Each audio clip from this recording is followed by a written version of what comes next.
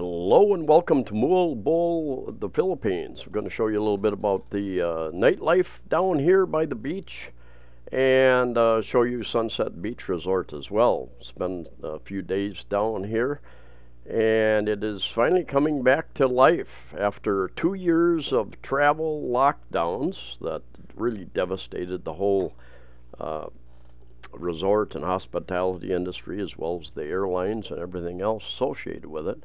Anyway, life is coming back. Uh, is over on the west side of Cebu Island, about a three hour trip uh, from Cebu City.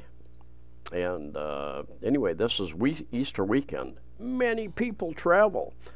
Uh, malls are closed for a couple days, and Filipinos usually go with family or a group of friends, and they get out of town.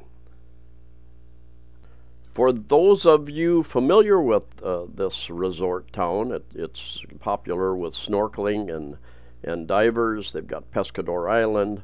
They've got a couple different beaches. Uh, they've got White Beach further south from where we're at, which is more of a, a, a white sand type beach. And the beach area that we're staying near, uh, Pen, Peneg, Peneg, however you pronounce that, uh, is a popular area. Many, many uh, different resorts, uh, long walking stretch. I'll do a number of videos. Uh, this is kind of a main road. This is where we end up eating in the evening. Betsy's, uh, I think something.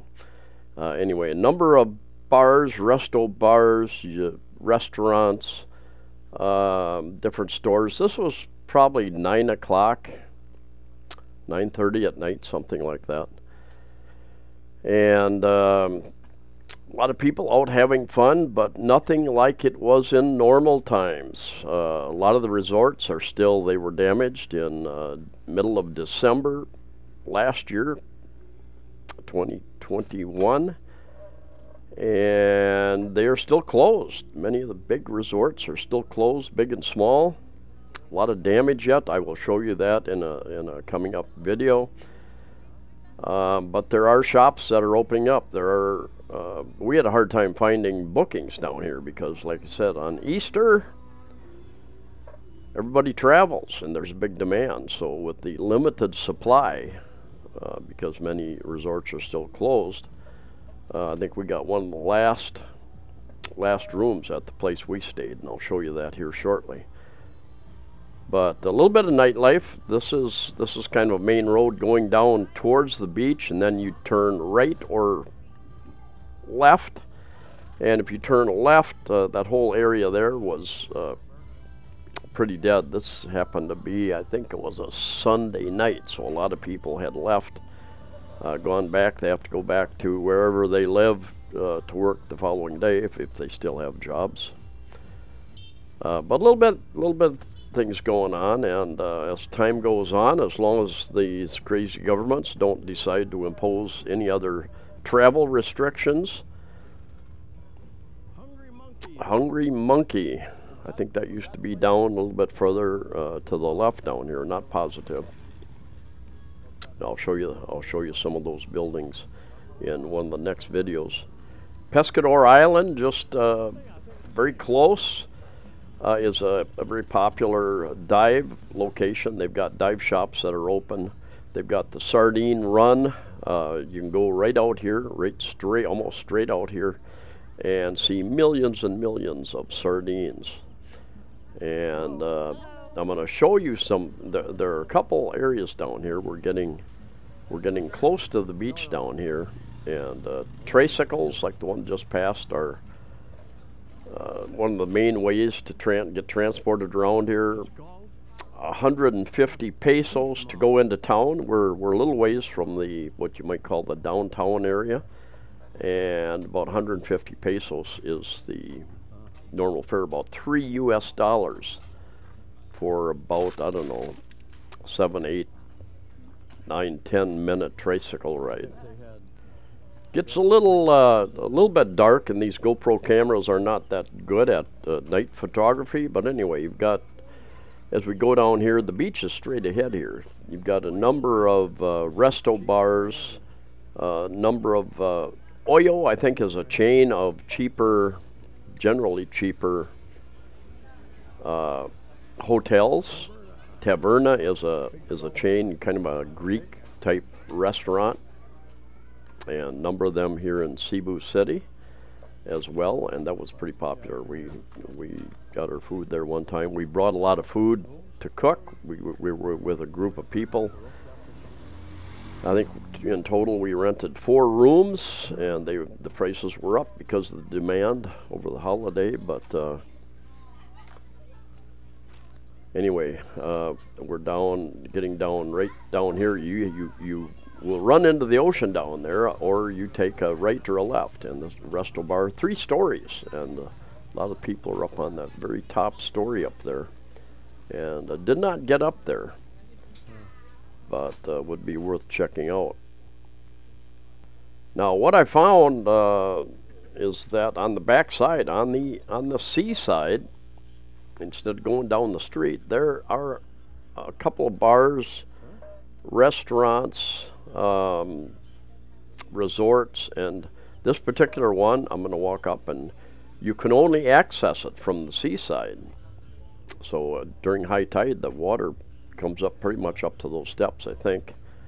Uh, but anyway, we stopped and had a had an interesting, and you can see some of the others. This is from the seaside. Uh, I think one of those is a resort. They've got a restaurant kind of out out towards the sea, so a really great view. Very clear, warm water to swim in. And here we'll take a look at Sunset Beach Resort. A friend of mine, uh, the group that we went down with, they, they found this.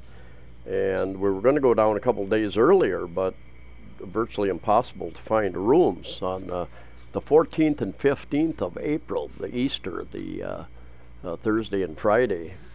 Morning. Uh, the malls are closed. Most businesses are closed uh, in the Philippines, in Cebu City anyway. And so that's when most Filipinos travel.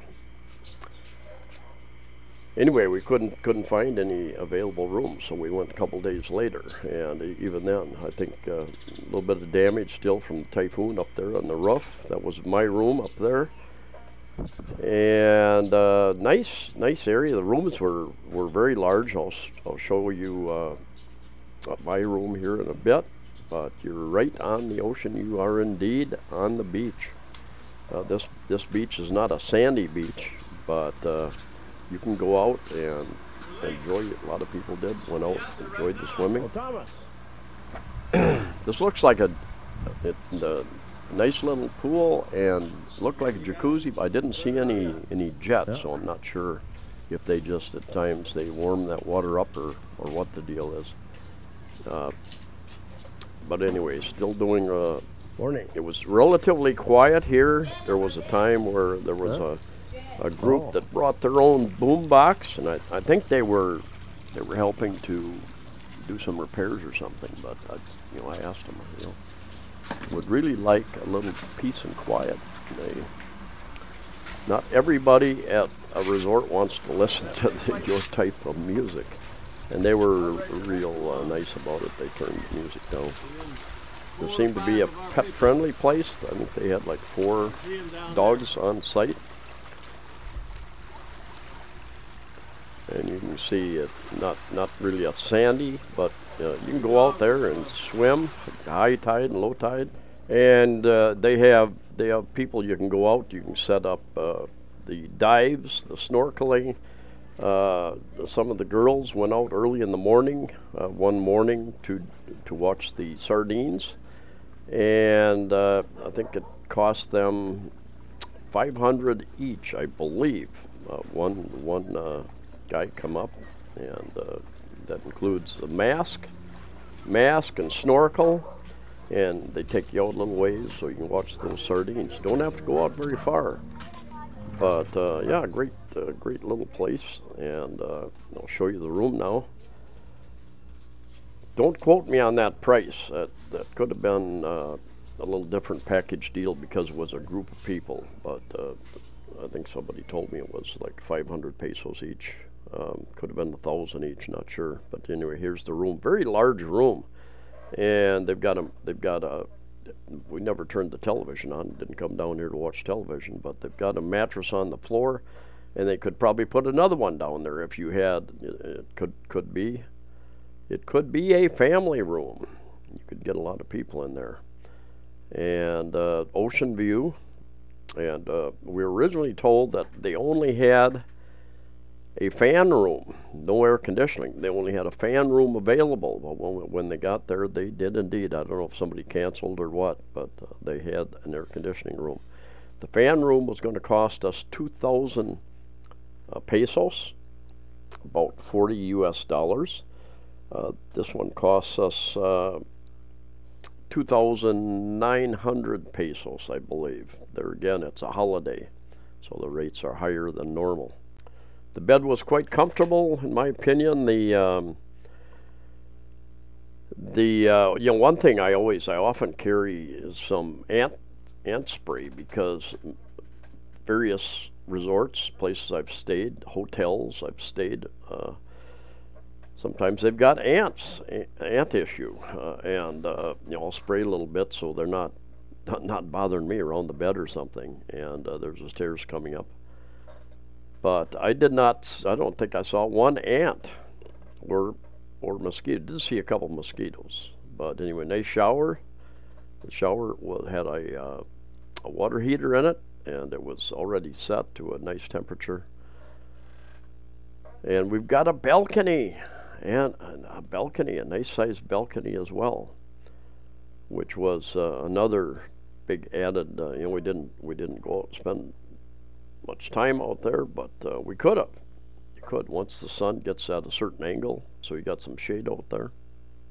I was a little bit concerned about uh, parking availability because these streets are very, very narrow. But there are over there, I think it's 300 pesos, about $6 for 24 hours.